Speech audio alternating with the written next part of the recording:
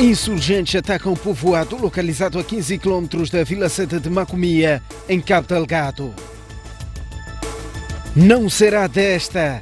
O Comitê de Verificação da Frelimo pediu mais tempo para analisar o caso Samora Machel Júnior. Costa do Sol vence o Machaquene por 1 a 0 em partida de arranque da segunda jornada do Moçambola 2019.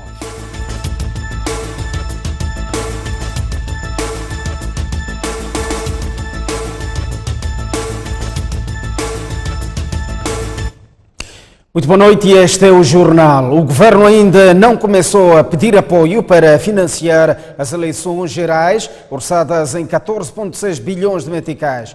O Governo só tem disponível 44% de valor e neste momento está a estudar com a CNE os cortes a fazer nas despesas. Faltando cinco meses para as eleições gerais de 15 de outubro, o Estado moçambicano continua com déficit de quase 60% do orçamento. Mas isso não preocupa o ministro da Economia e Finanças, até porque, para Maleani, as eleições vão acontecer de qualquer forma. O orçamento pôs 6,5 uh, bilhões de meticais e isto já representava o dobro das eleições de 2014. Mas por razões que a Comissão Nacional de Eleições uh, explicou e que vai continuar a explicar, que é assim como nós vamos trabalhar, uh, vamos ver como é que se resolve e, sobretudo, qual é a, a, a razão de a subida. E o recurso ao orçamento retificativo é também uma incógnita. Tudo vai depender dos cortes que poderão ser feitos nas despesas dos órgãos eleitorais neste processo. Se a solução for reorientação da despesa dentro do limite que foi, que foi fixado, ah, provavelmente não tenhamos que ir.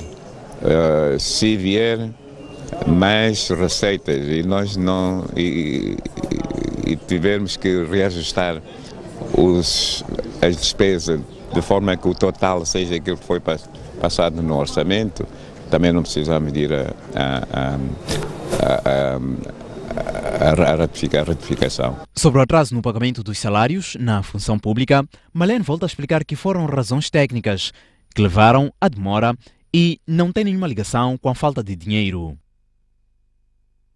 Depois da devastação causada pelo ciclone Kenneth, Macomia volta a enfrentar o problema de insegurança. Insurgentes atacaram na noite de ontem o povoado de Nakate, a 15 quilômetros da vila sede. Ainda não há informação sobre vítimas mortais.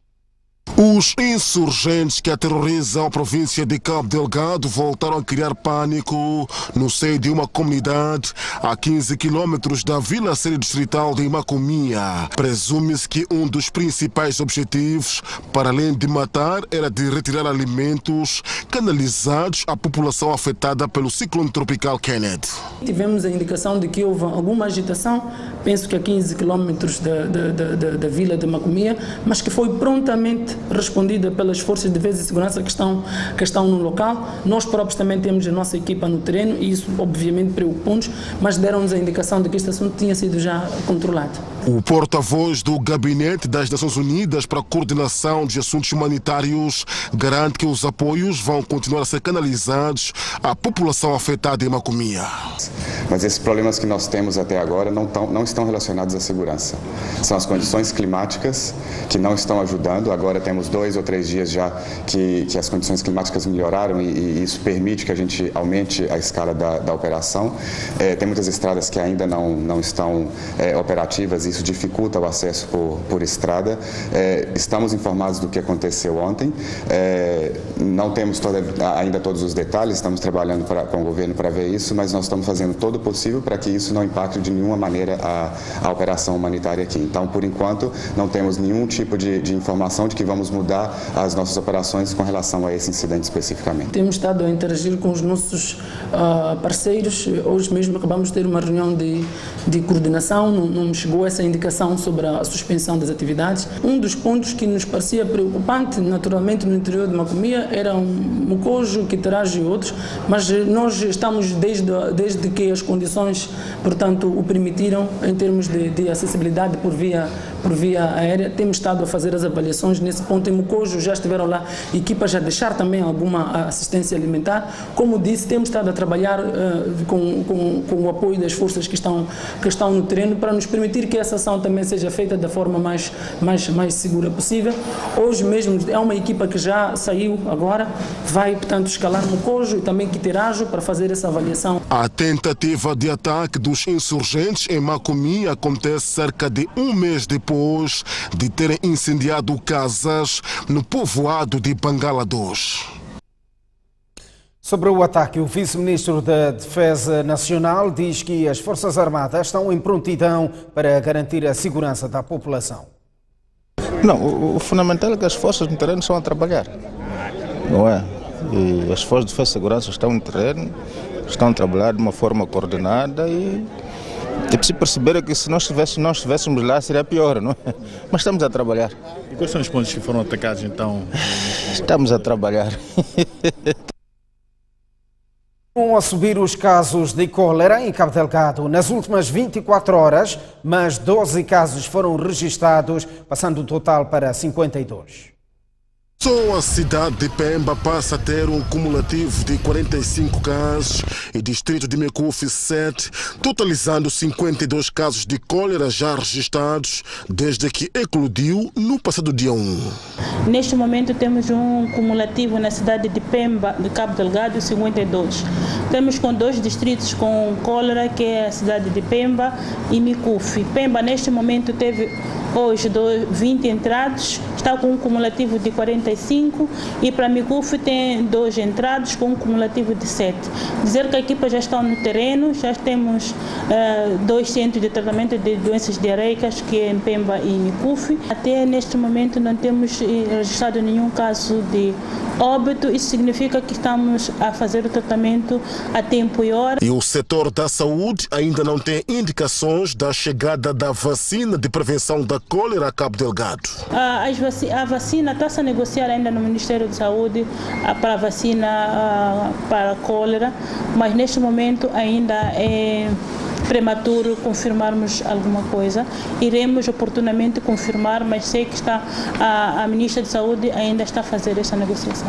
Nesta sala estão técnicos do setor da saúde a desenhar estratégias de atuação para debelar a propagação da cólera. E a Ministra da Saúde alerta para o aumento de casos de cólera em Cabo Delgado e apela à observância de cuidados de saúde. O que estamos a apelar é a população a cumprirem com as medidas de higiene. Nós, como setor da saúde, vamos fazer todos possíveis para não haver perdas humanas. Como sabem, a cólera mata em menos de 24 horas pela perda de líquidos. Então, quando o doente tem sintomas, deve recorrer imediatamente para uma unidade sanitária e dali ir para as nossas tendas, porque a primeira medida é recolocar, repor os líquidos que a pessoa perdeu. E dizer que também temos uh, uh, iminência de aumento de casos de malária, estão lá posicionadas também todas, todos os consumíveis necessários, testes de malária. Nazir Abdul avança que, perante a necessidade de uso de vários medicamentos para assistir aos casos de doença, no centro do país, afetado pelo IDAI, e no norte, onde Kenneth fez estragos, as autoridades da saúde já solicitaram a reposição de estoque de medicamentos. Lembre-se que depois do ciclone Idai e chuvas no centro do país, foram registrados casos de cólera que resultaram em mortes. As Nações Unidas anunciaram ontem medidas reforçadas para responder a relatos de abusos sexuais contra as vítimas das calamidades por troca de ajuda humanitária distribuída após os ciclones que assolaram Moçambique. Entre as medidas eh, destaca-se a formação eh, de pessoas no terreno para eh, seguir qualquer rumor ou alegação desses casos. Mulheres têm relatado que foram vítimas de abusos e exploração sexual para terem direito a receber ajuda humanitária após os ciclones que atingiram o país. As Nações Unidas estão a aplicar medidas para reduzir os casos. Em comunicado, a ONU, através do coordenador do Escritório das Nações Unidas para a Coordenação de Assuntos Humanitários em Moçambique, informa que A nossa principal prioridade é garantir que qualquer sobrevivente que tenha levantado uma alegação de exploração e abuso sexual em Moçambique esteja em segurança e tenha acesso rápido aos serviços e apoios centrados nas vítimas. No documento divulgado esta sexta-feira, o organismo internacional anuncia medidas para evitar mais rumores de casos daquela natureza. Desde o início da resposta ao ciclone Idai e agora com o ciclone Kennedy, transmitimos mensagens claras. A ajuda é gratuita e a exploração e abuso sexual são inaceitáveis. Acrescentou. No entanto, o risco mantém-se, pelo que foi reforçada a formação de pessoal no terreno para seguir qualquer rumor, relato ou alegação e acelerar a ação em resposta a esses casos. Em reação aos mesmos rumores, há duas semanas, a Human Rights Watch pediu às autoridades de Moçambique a investigarem com urgência os relatos sobre sexo forçado de vítimas do ciclone Idai por líderes locais em troca de comida. Também há duas semanas, questionada sobre o assunto, a vice-ministra do Interior, Helena Kida, disse desconhecer violações em troca de ajuda humanitária. Um homem de 48 anos é acusado de violar sexualmente seus dois filhos, um rapaz e uma rapariga, e infectá-los com HIV-Sida. O acusado está detido na 15ª Esquadra de Polícia na cidade de Maputo. Este é o homem acusado de barbaridades. É para eu entrar na cadeia injustamente. um homem que, segundo familiares, não tem sentimentos e é psicopata. Os meus familiares, não sei o que, é que eles têm comigo, porque. É acusado de violar sexualmente um rapaz e uma rapariga, por sinal seus próprios filhos, e transmiti-los o vírus HIV. As violações terão começado em Inharrime, quando a menina tinha apenas 9 anos e o rapaz 6. Mas o indiciado nega todas as acusações. Não violei a minha filha. Não violei. E outro teu filho nunca violou a outro filho? Qual filho, rapaz? Não, isso, mas como isso pode ser possível, mãe? Isso não aconteceu. O mesmo caso, é o mesmo caso que acusaram do coisa do, do, do, do, da primeira filha, até quase todos, todos nós três, temos ser positivos. Eu tomo comprimidos, até que já que não tomei, porque desde que fui preso aqui, meus comprimidos ficaram lá. Sim, somos ser positivos. E como é que o teu filho o senhor e a tua filha são seropositivos? Yeah, isso também não sei explicar, porque eu fiquei sem saber também se tenho isso aí. Só depois de ter ficado doente aquela criança aí e me chamaram. Então vieram fazer teste familiar. Já a rapariga conta a sua versão dos factos. Diz que o pai a violou sexualmente por três anos, ou seja, dos 9 aos 12 anos, até escapar com a tia que a levou para Maputo. Quando eu tive 9 anos, meu pai ele passava a nos deixar sozinho em casa. Ele saía ia para não sei para onde, mas ele saía e voltava de noite. E quando voltava de noite, voltava bêbado. E ele, no primeiro dia ele veio, começou a me pegar e fez o que ele fez. Depois disse, quando acordei no dia seguinte, ele disse o que aconteceu ontem, não posso contar para ninguém, porque eu vou me matar e a culpa será sua. O irmão, segundo a rapariga, teve o mesmo destino e até agora é feito de uma espécie de esposa de seu pai num outro distrito de Inhambane. O seu desejo é que seja resgatado o mais rápido possível. Um dia eu perguntei para o meu irmão o que o que está acontecendo porque você sempre de noite você chora. Ele disse o problema é que papai dorme comigo de noite. A sua detenção foi legalizada? a polícia diz que a prisão do acusado foi legalizada e que neste momento o processo vai seguir os seus trâmites legais. A polícia repudia eh, com muita veemência este ato, assim como os outros de violação. São é, crimes bárbaros, considerados bárbaros, são crimes que, é, de indivíduos que praticam e não têm a mínima noção da gravidade destes mesmos fatos criminais. Daí que a polícia é chamada, de facto, a intervir de forma muito contundente a estas situações, a estes cenários é, de violação sexual contra menores. A inocência da menina Carla, nome fictício que usamos para proteger a sua imagem, foi resgatada pela Associação Ishikanwe, uma casa que trabalha sobretudo com mulheres, raparigas e crianças com HIV-Sida. A associação distribui gratuitamente medicamentos e incentiva os doentes a não desistirem do tratamento do HIV/SIDA. Eu um dia perguntei, né, como é que ela, como é que ela se chamava, de onde é que ela vinha, como é que está o comportamento, porque ela tinha problemas na toma da medicação. Foi quando ela me disse, né, que foi violada pelo pai hum, durante três anos e o irmão também sofreu a mesma violação.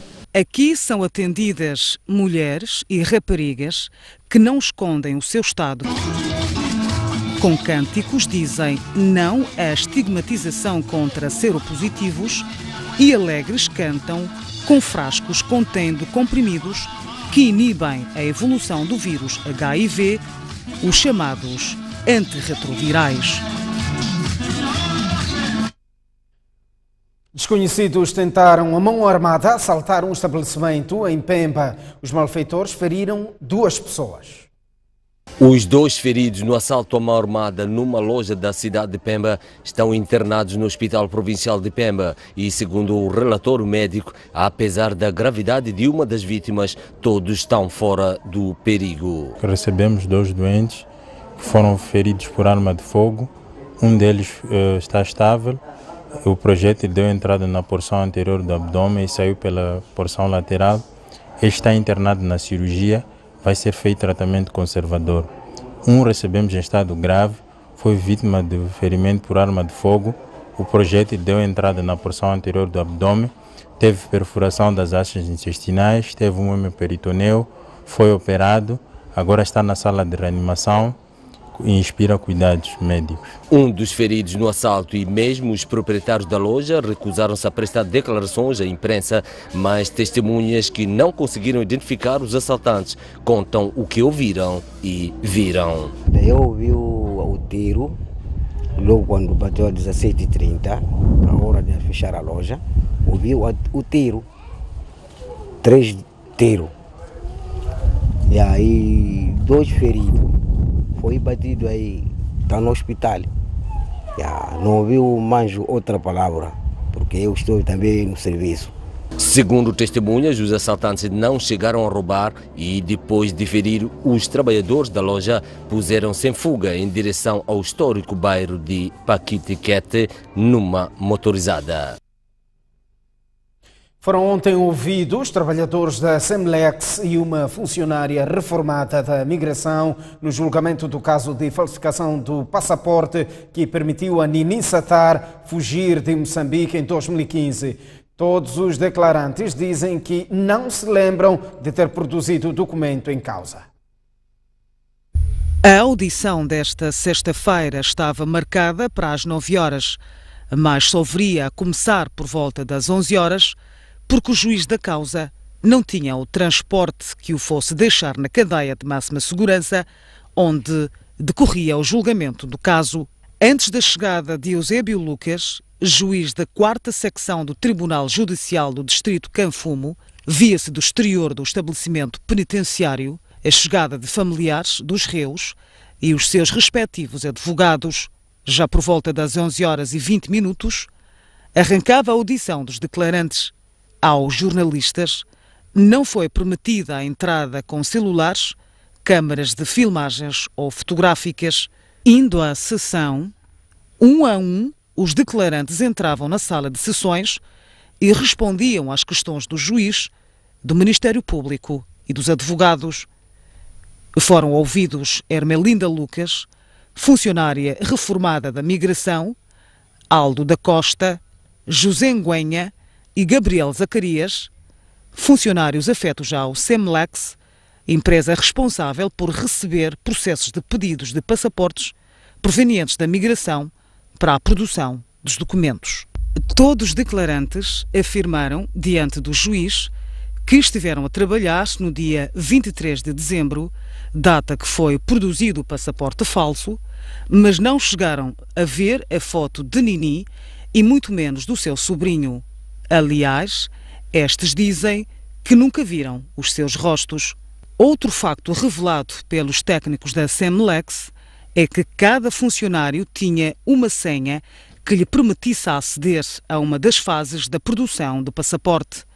nomeadamente a de entrada, entrega de fotografias, início de produção, impressão da lâmina, laminação, codificação, atualização da fotografia, controlo de qualidade e saída de documento.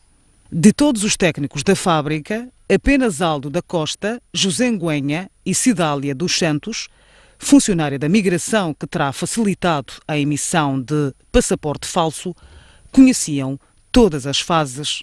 Aliás, a Ré Cidália diz que não conhecia a fase de atualização da fotografia, que presume-se que terá sido neste estágio que se trocou a foto de Sahim por de Nini Satar.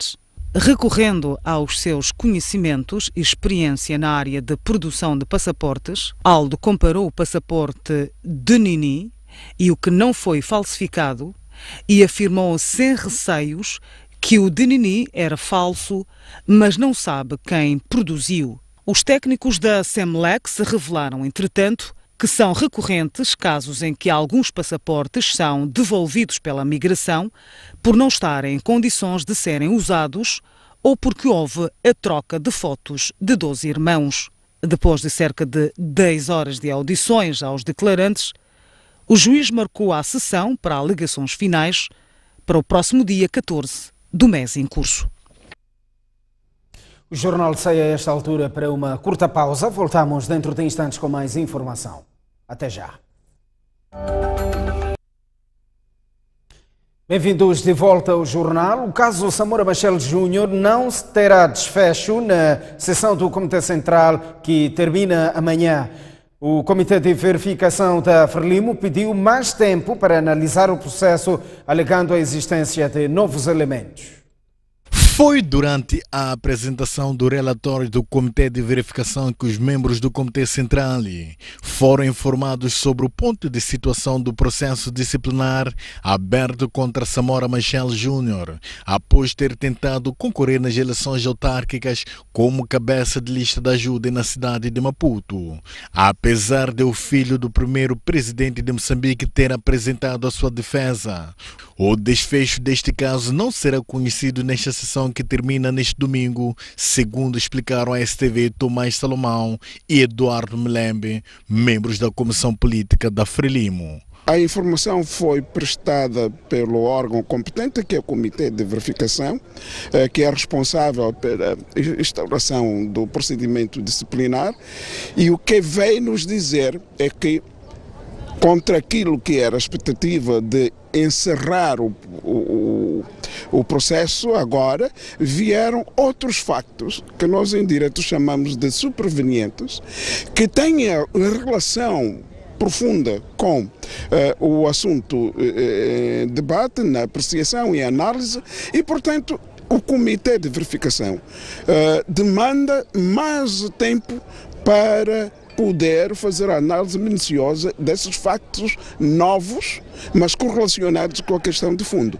E o Comitê Central achou que efetivamente o pedido que foi feito pela, pelo Comitê de Verificação faz sentido e, portanto, na próxima ocasião, o Comitê Central irá receber a informação uh, definitiva e tomará a sua posição uh, final continuar a tratar do assunto do Samora Machel Júnior e trazer o assunto à reunião do Comitê Central. E o próprio Samora Machel Júnior concordou com isso. Então, para trazer ainda durante esta sessão? Não, não, não, não, não, não. Não, não durante esta sessão. Na sua defesa, Samora Machel Júnior negou ter violado os estatutos da Frelimo e disse que aceitou o convite da ajuda depois de o partido ter o excluído do processo sem nenhuma explicação. Membros do Comitê Central reiteraram o seu apoio a Filipe Nunsi como candidato da Frelimo às eleições presidenciais de outubro. A informação foi revelada pelo porta-voz do partido eh, depois da apresentação do debate eh, do relatório do Gabinete Central de Preparação das Eleições Gerais. Amélia Nakari diz que ainda estão a ser feitos cálculos do valor que as autoridades moçambicanas poderão encaixar com a venda da Anadarko, mas a empresa já se adiantou para amainar os ânimos do Estado moçambicano. Essa transferência pode não trazer aquilo que nós expectávamos inicialmente, porque é uma transferência que inclui custos, segundo a própria empresa, mas a breve trecho nós poderemos dar detalhes em termos de números de quanto é que vai constituir o encaixe do, do governo. Enquanto reduzem as expectativas sobre as mais-valias, reduzem também as metas de arrecadação de receitas para este ano devido aos ciclones. Mas tudo vai depender um, da capacidade de recuperação de algumas empresas que são muito representativas em Sofala, particularmente. Nampula não foi muito afetado, o que significa que a economia de Nampula, que é o catalisador da região norte, vai poder assegurar uma certa percentagem daquilo que são os 8 a 10% da contribuição global. Então, nós não podemos avançar nesta fase muitos indicadores de que não vamos cumprir uh, as metas, mas os indicadores atuais estão a indicar a volta de 90%. Com a devastação pelo IDAI, o governo anunciou facilidades aduaneiras e fiscais para os agentes econômicos no centro do país e, muito recentemente, estendeu as mesmas medidas para a Zona Norte, abalada pelo Kenneth. Foi notória a troca de matérias a que acabamos de acompanhar. Avançava que a autoridade tributária eh, diz que a expectativa de arrecadação eh, de mais-valias da venda da Anadarko baixou a presidente da autoridade tributária explicava que a petrolífera americana avançou que o processo de venda acarreta custos sobre a arrecadação de receitas para este ano. Amélia Nakari dizia na reportagem que acompanhamos que as metas reduziram para 90% e está satisfeita com a gestão do município de Nampula, porém a cidade apresenta vários problemas, com destaque para a degradação das vias e avarias de semáforos. A autarquia de Nampula tem estado a enfrentar vários problemas, onde parece não estarem a funcionar muitos serviços, deixando a impressão de total abandono. Os buracos e covas vão preenchendo as estradas, tornando ainda mais difícil à circulação de viaturas por todos os cantos. A Renamo, que governa este Conselho Autárquico, assegura que este cenário, que os municípios já não se recordavam, tem dias contados. Nos últimos dias da sua vida, Afonso Chacama, que residiu nesta cidade, havia prometido, durante a campanha eleitoral, assessorar na gestão da autarquia. Nós estamos satisfeitos com a governação de Vanle. Muita gente diz, ah, há muitos buracos, há muitos não sei o quê, mas devem saber que também sou do partido que ganhou. Tenho o direito de dizer algo. Vamos esperar as chuvas, irmãos. As máquinas estão afinadas. Estamos muito satisfeitos. Esta sexta-feira, a Renamo saiu à rua para homenagear o falecido presidente do partido pelos seus feitos. Nós todos sabemos que Afonso Jacama foi um homem incomparável neste país contestável. Foi um homem que tanto trabalhou, um homem que nós, os moçambicanos, devemos, portanto, ter como ele o exemplo vivo para podermos libertar o povo moçambicano.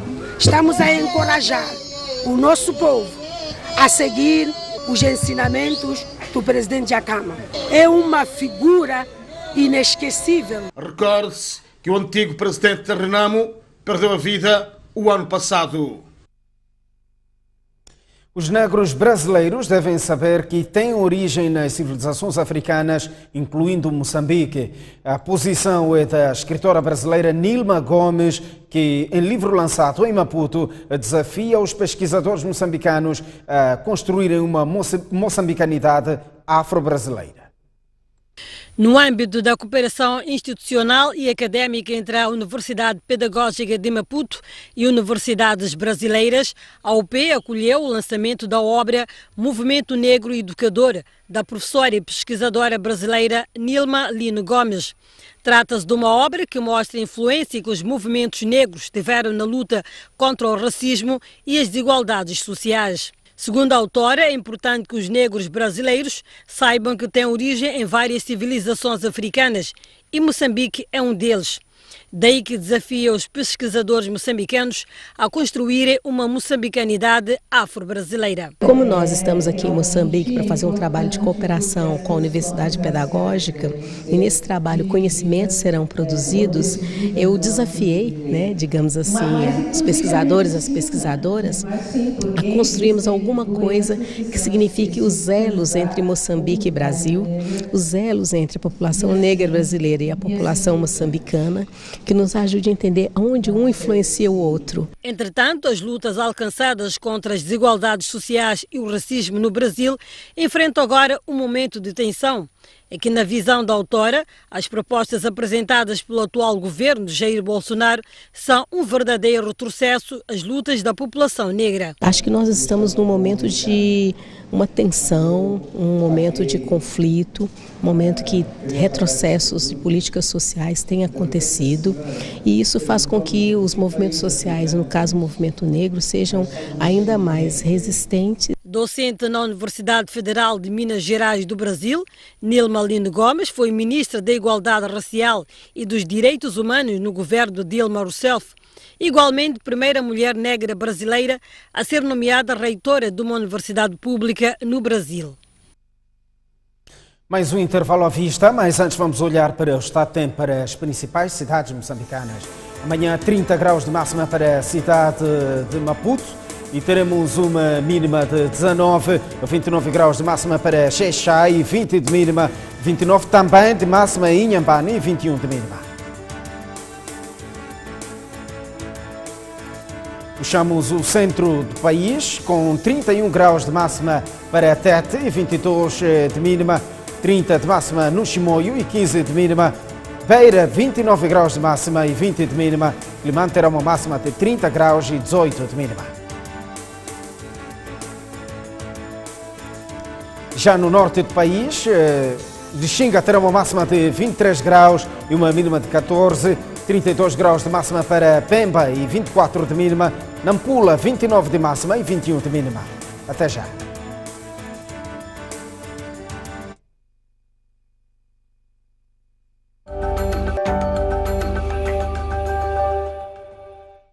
Estamos de volta ao jornal num bloco dedicado ao desporto. O Costa do Sol recebeu e venceu o Machacane por uma bola sem resposta em jogo de arranque da segunda jornada do Campeonato Nacional. O único golo de jogo foi apontado por Chaua aos 4 minutos.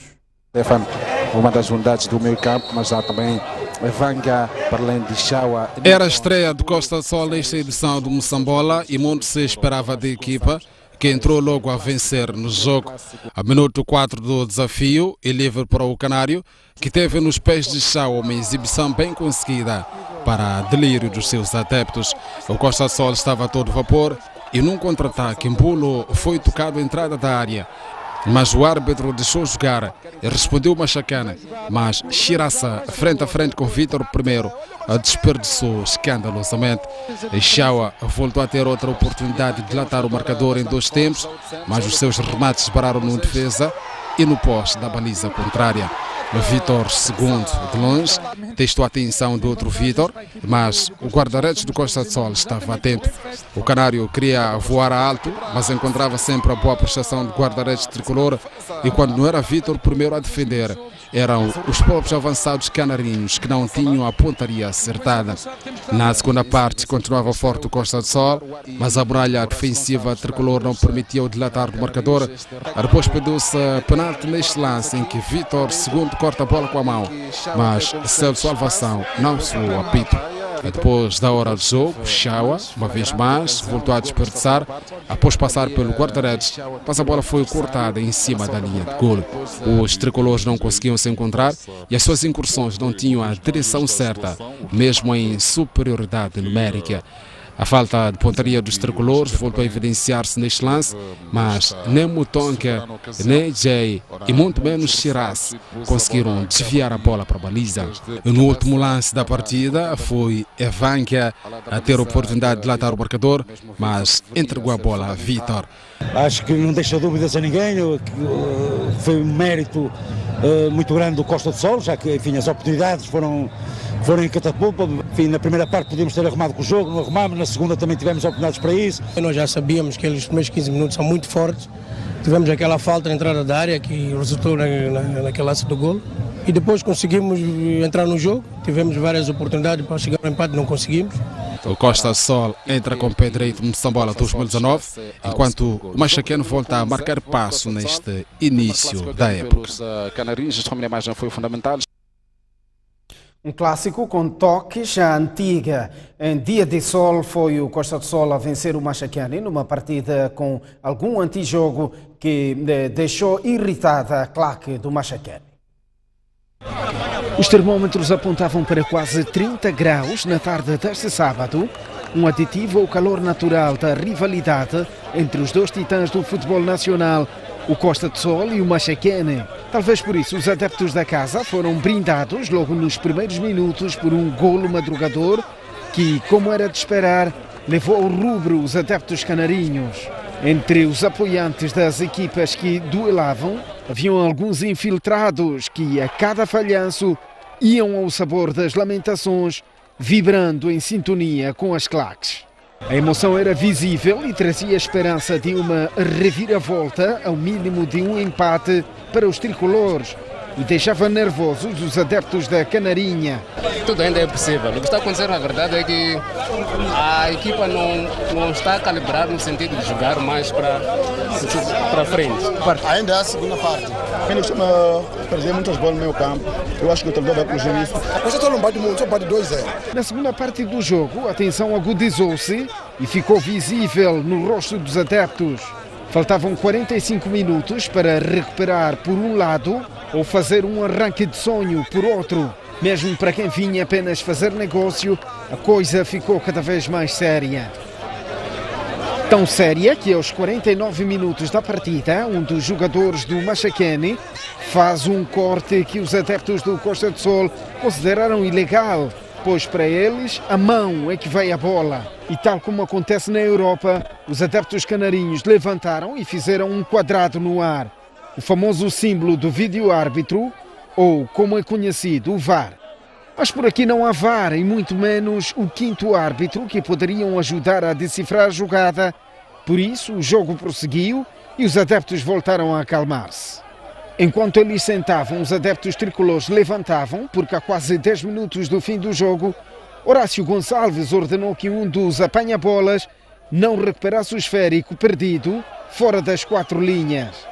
A infantilidade desse treinador é infantil, ele, muito infantil. Não se faz, profissionalismo não faz aquilo. O futebol foi bonito, jogamos, opa, não tivemos sorte. Oh, bom, um pouco crítico, mas são coisas de futebol, não há maneira. São coisas de futebol, acontece. Opa, aquilo faz parte do, do futebol.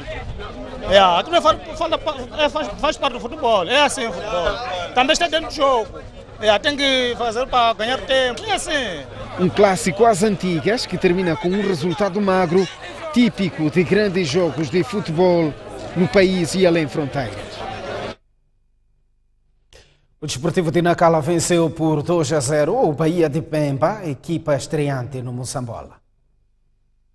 O Desportivo de Nacala recebeu, batizou e venceu por duas bolas a zero o Bahia de Pemba em jogo de estreia da equipa de Campo Delgado na maior prova futebolística nacional, o Moçambola. O jogo começou equilibrado, com os dois conjuntos a procurarem conhecer o adversário e chegar com surpresa à baliza contrária. O Bahia Azul, logo cedo, mostrou deficiências no setor ofensivo e defensivo. O Desportivo de Nacala soube tirar proveito dessas fragilidades e numa jogada combinada produzida por Maurício, Ernesto faz o 1 a 0 aos 25 minutos. O Bahia de Pemba tentou chegar ao golo de igualdade, mas os seus pontas de lança pecavam na finalização. A primeira parte terminou com este resultado. Na segunda parte, o cenário não alterou, com o Desportivo de Nacala a ser a equipa que mais visitou a baliza do adversário. Aos 22 minutos, o Desportivo consegue o golo de tranquilidade. Foi um verdadeiro balde de água fria para a equipa de Pemba, que ainda se ressente dos efeitos da tempestade Kennedy. Que a minha equipe teve problemas, teve situações calamitosas. Os jogadores já não são os mesmos, aquilo afetou familiares e tudo. Mas é tentamos dar o nosso máximo, que é muito normal e é o primeiro jogo. Sabíamos que seria um jogo muito corrido, muito corrido, era um, é um adversário que não conhecíamos e que havia, queremos pontuar a cada jogo, procurar eh, fixar a manutenção muito rápido possível. Com esta vitória, o Desportivo de Nacala soma 4 pontos. Já o Desportivo de Maputo e Incomate de Chinavani empataram sem a abertura de contagem. Duas equipas que se defrontavam pela quinta vez no historial do futebol moçambicano e o Desportivo de Maputo procurava arrancar uma vitória, mesmo para pagar a má imagem deixada na primeira jornada do Moçambola, em que perdeu em Nampula. Já o Incomate de Chinavan procurava desmentir a ideia de que a greve que se verificou ao longo da semana não iria afetar a boa prestação que terminou com a vitória diante do Ferroviário da Beira na jornada inaugural.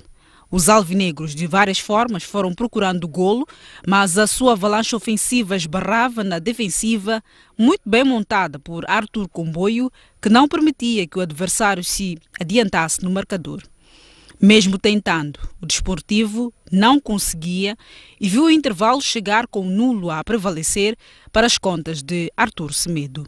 Na segunda parte, o Incomate tentou ameaçar, mas era o desportivo que dispunha das melhores ocasiões de inaugurar o marcador. E quando não eram os avançados a encontrar caminho da baliza, era o próprio guarda-redes do Incomate, o internacional moçambicano Guerrugo, a manter a igualdade, sem golos. O fato mesmo é que, nem do outro lado, os avançados dos açucareiros conseguiam desfazer o nulo, que quase era desfeito no final do jogo pelos alvinegros, mas o resultado já estava escrito que terminava sem golos. Temos o adversário que claramente apostou a jogar no antijogo durante toda a partida e, sobretudo, temos o handicap de jogarmos num relevado que não é nosso. E neste campeonato no nosso país. Uh, todos sabem, todos sabem que não basta só ter competência para se ganhar jogos, não basta ter qualidade para se ganhar jogos. Há muitas áreas que transcendem o nosso domínio, uh, que são estas que fazem os jogos acontecer. Por isso, uh, como nós não dominamos essas matérias, vamos continuar, se calhar, a jogar muito e a perder muitos gols como perdemos hoje. Nós sabíamos que viemos jogar com uma equipe que, da maneira como o Artur Semedo tem jogado, que é uma equipa que joga na posse. Então organizámos bem, temos um plano de jogo excelente. Os jogadores cumpriram na íntegra, saímos daqui com um ponto. Este ponto vai nos valer muito para as contas finais. O empate garante a liderança provisória do Incomate de Chinavan, com quatro pontos, enquanto se realizam os restantes jogos da segunda jornada e dá o primeiro ponto do Desportivo de Maputo nesta edição do Moçambola 2019. O ferroviário de Maputo recebe amanhã o seu homônimo de Nacala. Depois da derrota no primeiro jogo do Moçambola, os locomotivas da capital vão apostar tudo para vencer eh, no jogo, ou melhor, para vencer o jogo no estádio da Machava.